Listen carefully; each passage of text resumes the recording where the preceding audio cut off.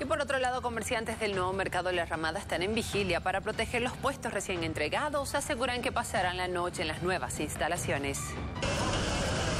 Se observa una gran cantidad de comerciantes en el interior del nuevo mercado de la Ramada. Ya compuesto estamos. Sí. Queda tranquilo. Sí, vamos a traer nuestra mercadería y vamos a acomodar mañana pasado. Eh, estamos cuidando nuestros puestos.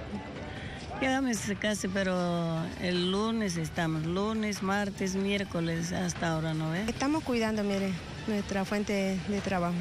¿Ya les han repartido los puestos? Sí, aquí en nuestra asociación sí ya nos han dado ya. Los comerciantes indican que esperan autorización para iniciar con el traslado de la estructura de sus puestos.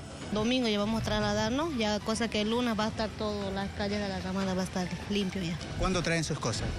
Eh, ya han dado la autorización para que traigan los sector de abarrotes y ropa, sus cosas, pero los demás no.